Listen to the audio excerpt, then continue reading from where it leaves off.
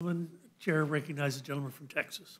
I thank my colleague from Texas, um, and I appreciate the witnesses for being here this afternoon. Thank you. Um, I would uh, ask one uh, general question, I mean, I think of each of you. I mean, I- I think it is uh, important as a backdrop in terms of what we're talking about in terms of the spending levels, that it would be um, uh, appropriate to say that if you take the appropriations bills that Republicans have put forward to date, we've passed seven on the floor, we've passed another three out of committee uh, that have either been considered on the floor or, or in the midst of being considered on the floor, and then two, Labor H, and then obviously CJS that we might um, deal with tomorrow that didn't go through committee, went straight to the floor. I share the gentleman's preference, and I think that over here that, that it would have gone through committee before going to the floor, but, but we're, we are where we are on that.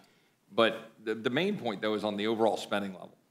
Is, is it fair to say that if you take and add up all of the appropriations bills that we have passed out, um, out of committee, or these two at the spending levels that were set by the committee as they came to the floor, that the total spending levels would uh, achieve roughly, I think, about a 1584 or 1586, something like that, top line. Um, And I, 1586. yeah. And that which is a few billion acknowledged below the 1590 FRA level. Uh, So you could, I, I guess you could kind of uh, quibble over, you know, what's been cut in those, in that $4 billion. But putting that aside, it effectively is spending in compliance with the ceiling that was set in the highly bipartisan FRA. Is that a? Yes. Is that a fair statement? Yes. Uh, Yeah, I'd be happy to answer that. It's $152 billion below the bipartisan budget agreement, and all of the cuts are on the non-defense side. 152 billion. $152 billion below. So the 1586 is 152 billion below? Below the bipartisan budget agreement. But I would, I would like to explore that. So Of course. 152 And billion, it's all so, on, the- understand, it's all on the non-defense.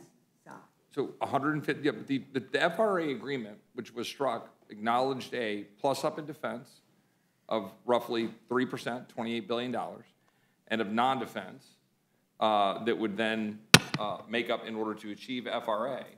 But, but, but I think this is actually No, important. non-defense was cut. Right, in- non-defense in, was in the agreement, in the FRA. Yes, Agreed. which was overwhelmingly, oh, uh, uh, uh, uh, this, overwhelmingly supported. I think that that one one has to go back to the premise, that there was a budget agreement. And if I said many times here, I voted against the budget agreement. Same. Well, but it was overwhelming, overwhelmingly supported. And the reason why I voted for it was, one, appropriations was not part of the process. And secondly, I was very concerned as to what the level of the, uh, uh, uh, uh, of the allocations were, were, were going, were going to be, and with regard to non-defense appropriations. And I say that because I come from a defense-dependent state, so I don't have any problems with that, that side of it. However, the, you all walked away from the budget agreement and the fiscal responsibility bill. Without, within a week's period of time, you said no, that those top lines were not uh, uh, to be followed. And that is still what is happening now. So when you bifurcate what you're doing, you're going to, there is no allocation for each one of the, uh, of the subcommittees. So you go, you, you'll plus up one, lower ones, ones that you like, ones that you don't like, and so forth, which is really madness here in terms of a process to get us to a budget. So- But so Sixty-nine getting- billion dollars in additional spending outside of the This, cap. this is an important, this is an important Yeah, point, because sure. if, if the gentlelady is correct, that it is missing hundred and fifty-two billion dollars, Mm-hmm. uh, when it, is- in fact, mathematically, undeniably, adds up to fifteen eighty-six, give or take, a, a couple of billion, again, within rounding errors. It, it, that's that's just a mathematical truism, that what we're talking about in terms of the appropriations bills that Republicans have put forward, that the programmatic spending levels add up to roughly, again, roughly fifteen eighty-six. That then if there's hundred and fifty-two billion dollars allegedly missing, then what I'd like to understand is, is what is that? And I think for the American people to understand, uh, it's generally wants to correct or add something to Yeah, it. no, no, I don't have to, I don't have to Okay, well, correct. but What you're not not considering is that you've got hundred fifty-two Rescission. billion dollars below the bipartisan agreement. What you're not addressing is Oh, I'm the- addressing. the sixty-nine billion dollars that was for emergency for base, for COVID and commerce, for the IRS rescission, and so, and, and, and, and, and, and, and the chimps, which added up to sixty-nine billion dollars. And that's exactly my point, and I thank you for making it. Because I'm happy, this- happy, I, I Right. want, let's be accurate with the facts. Okay, well, the- I Let's am being be accurate with the facts. The programmatic spending level last year, one point six oh two trillion dollars. That's a mathematical fact. That was the, that's the programmatic spending level for, for DOD, for all of the non-defense programs, and obviously you've got veterans and, uh, some that are, uh, uh, energy and some that are part defense and part non-defense. So you've got a one point six oh two level, and the question was, what was gonna be our spending level? FRA was gonna be at basically fifteen ninety of the programmatic spending level, representing a reduction. 1586 would have been the automatic 1% across the board level. These are the numbers that we're looking at for the actual programmatic spending levels. But the, but the, the, the, the deal that was struck, which, which many of us tried to point out back in Memorial Day, was that there would be effectively backfill. Like if you look at the, the White House's own documentation when they were putting it out and putting it forward, 886 billion for defense, 121 billion for veterans uh, medical care, uh, and that defense level. This is the White House's own document that they put out. President Biden, comma Democrat, budget level three percent increase for defense. That's 886. The veterans medical care budget level, they put that number out, 121 billion, and then it says 637 billion for other non-defense programs, taking into account all agreed upon adjustments, virtually equal to 2023. That'd be 637. That all adds up to 1644. Now, that would represent about a $54 billion number, greater than the 1590 that we've been talking about in terms of the uh, overall spend with respect to, relative to the 1602 last year in the omnibus spending bill. My point of that is, the gentlelady doesn't uh, think the numbers are actually ref- reflected or, or uh, didn't support it for a variety of reasons that she's already described. Um, for concerns about not spending enough, I was colleagues on my side of the aisle who were trying to explain to the world that we were, that the spending levels were going to be something they weren't gonna be. That's, the- that's the reality, because this is the problem here that we're talking about with respect to, I'm keeping my time for a second. The problem we have here is that we've got fifty-four billion dollars that we know of in chimps and in uh, other accounts, the twenty-two billion sitting at the Commerce Slush Fund, which we had an entire exchange in this committee about, where my Republican colleague, Mr. Schweikert, came in and said, well, why aren't we using that to pay for the um, Israel funding? Or why are we using that to pay for the FEMA disaster aid? You know why we're not using that, ladies and gentlemen? Because it's already set aside for this town and appropriators to use to backfill to spend more. That's the truth. And so we've got that money, 54 billion. You've got chimps, which no one in America understands what those are. And that, that's why we continue to spend at levels that are blowing the lid off of, of No, spending. no, I- I- excuse me. I want It's to just true. With all due respect to the gentleman, and I have high regard for your, your, your, your knowledge and the, uh, uh, uh, the, uh, the dealing with, with, with the numbers, but I don't know what you do know about, an, about, the Appropriations Committee or the history of the Appropriations Committee and, and what it does and how it does it. The fact of the matter is, Let's not get away from, you all agreed, maybe you didn't, but the bulk of your colleagues, yes, and my colleagues, voted for a budget agreement. That was all part of it. But you made a determination. You know, civics class 101.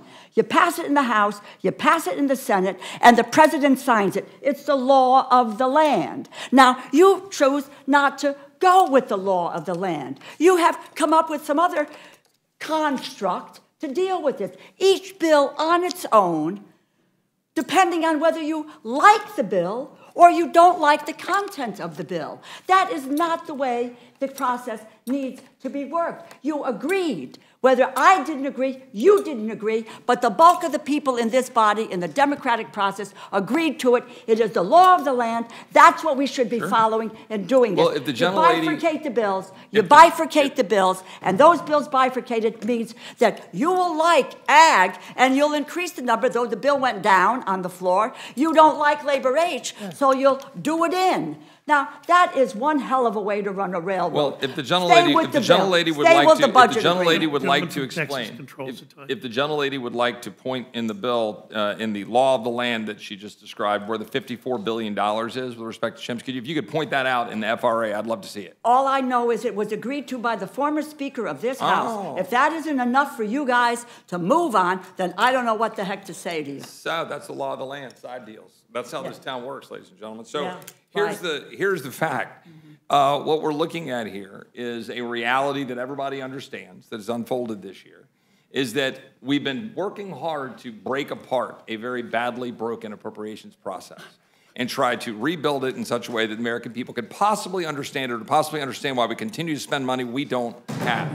And what I would tell for the, for the folks out there, you know, following this on C-SPAN diligently, no doubt at home, uh, the reality is um, that's the, the, the, the re- resistance we get, frankly, from staff, and I say that as a former staffer, as chief of staff in the Senate, as a lawyer on the Senate Judiciary Committee, the resistance we get from staff from daring to ask questions as members of Congress of the Appropriations Committee, daring to ask questions as to where this money is going, how it's being used, the resistance we've gotten all year. And it is being amplified at this exact moment because what the gentlelady just referred to is exactly the problem. And I don't cast aspersions to her description.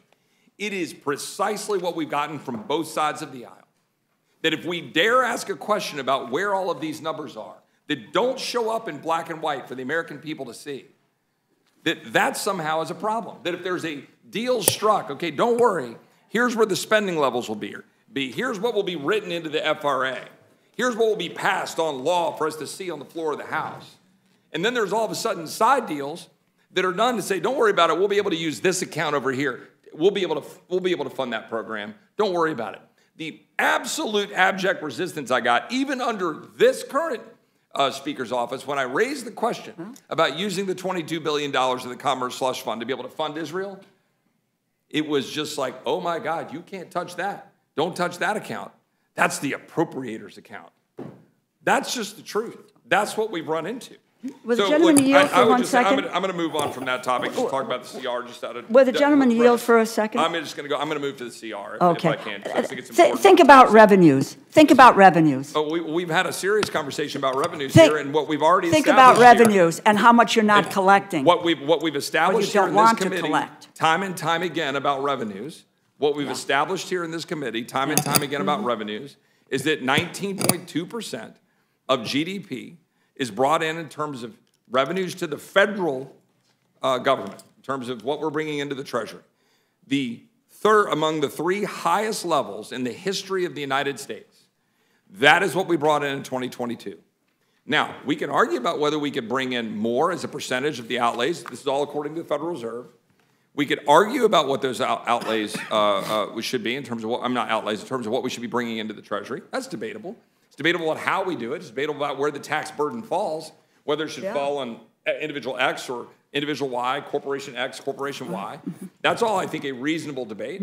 But the idea that you're going to solve our spending problem when we're at the third highest level or among the three highest levels of revenue to the Treasury we've ever had as a percentage of our gross domestic product is facially absurd, and it's part of the problem why Well, we continue wha- to go what's around the absurd room. is allowing corporations to pay nothing. Okay, but, but if, if, if the, if the gentlelady's position is that we're allowing corporations to pay To pay nothing. zero. To pay nothing, then you can go down the road of trying to come up with policies to change that, but it will not change the fact at the moment. You can't that get that moment- here because the as a- Republicans won't be will for not it. change the fact at the moment Texas controls. That the federal government is bringing in among the third highest levels of receipts to the Treasury it ever has as a percentage of GDP, according to the Federal Reserve. Not true. I assume the Federal Reserve is lying.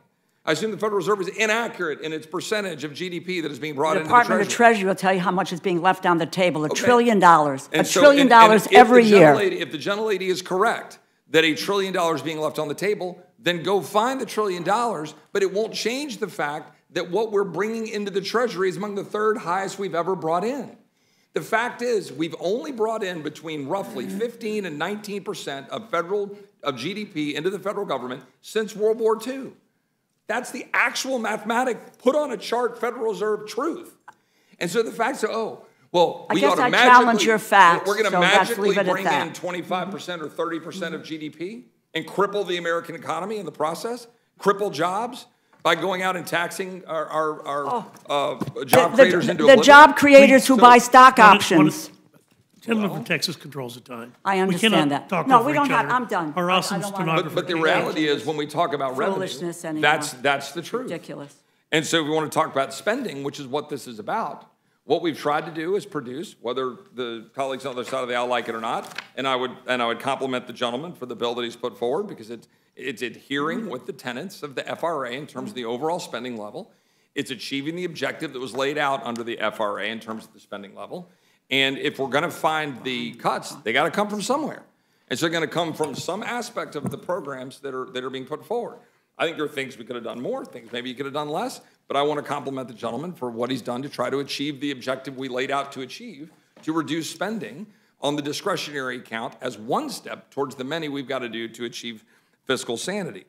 But uh, one thing that I, I, I want to ask about the continuing resolution, because it's important because we're all debating it. And I understand that, I think the gentleman supports it on behalf of the speaker, and a good number of my colleagues will, I think, uh, do so. I oppose the continuing resolution on, on October 1. Um, and, and I will oppose this continu- continuing resolution. But, but I think it, it merits um, recognizing that this continuing resolution, and I, and I, and tell me, gentlemen, just tell me if you think I'm, I'm, I'm wrong, if the, if, if any of this is incorrect, that this will continue the spending levels of the omnibus bill from last December, which was the $1.6 trillion spending level, and will do so for at least 60 to 75 days, depending on the, the, the various accounts, right? It will spend at that level. And it will do so, which means basically spending about $268 billion over the next two months, a little more than that, actually, for the ones that extend to February 2nd, at the uh, levels of the omnibus spending bill, that level being $131 billion higher than the previous year of 2022. Uh, And the reason I think that's important is I just want to establish for our colleagues who, who may be watching this is, that's what we're talking about. A FY '23 omnibus spending bill passed in December, right before Christmas, which we say we want to avoid. We're going to continue to perpetuate spending at that level, which is $131 billion higher than the FY '22 level, and we're going to do that with the policies embedded in it that were adopted at the time, while we have a $2 trillion deficit. And last week, Moody's downgraded the U.S. federal debt outlook to negative due to the burgeoning interest rates, debt, and deficits. And we just had a treasury auction that was uh, less than stellar for the United States government.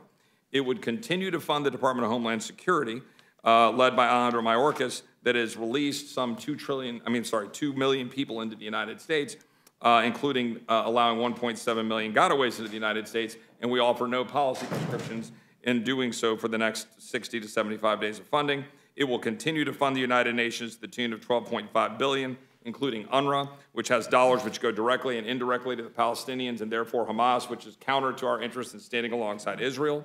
It will fund the continue to fund the proxy war uh, that we've got going on with Russia, in- including the $300 million that we just voted down in September in the DoD appropriations bill. It'll continue to fund and extend the authorization of the uh, COVID uh, state with respect to uh, PAHPA, BARDA, and CDC and NIH. Now, I would, I would note that a lot of those have been addressed in the Labor H bill, and I want to, I do want to compliment the gentleman and the appropriations efforts in trying to address some of those things. But the CR, of course, by definition, does not, right? We will continue to perpetuate a lot of the things that were addressed in Labor H. Uh, it continues to fund critical race theory and DEI at the Office of the Pentagon. It continues to fund the abortion, tourism, and transgender surgeries at the Department of Defense. It continues to fund the Department of Justice, ATF's pistol brace ban. It continues to fund the EPA's uh, attack on the internal combustion engine. It continues to fund uh, farm, uh, and it extends the farm bill to September 30th with no reforms to food stamps, no reforms to FDA, USDA tyranny over the small ag in favor of big ag, no fixes to Chinese Communist Party ownership of U.S. farmland. I could go on and on. Those are the realities what happens when you extend last year's funding levels as the majority party here. Um, I just think uh, we should try to do better, and I don't believe that this is the right approach that we should pursue. I would yield back. Chair thanks the gentleman. Gentleman yields back. Chair recognizes the gentlelady from New Mexico. Thank you very much, Mr. Chair. And, you know, I think it's really important